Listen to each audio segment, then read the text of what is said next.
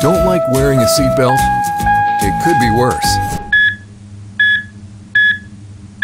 Whatever else you have going on today, buckle up. Seatbelts save lives.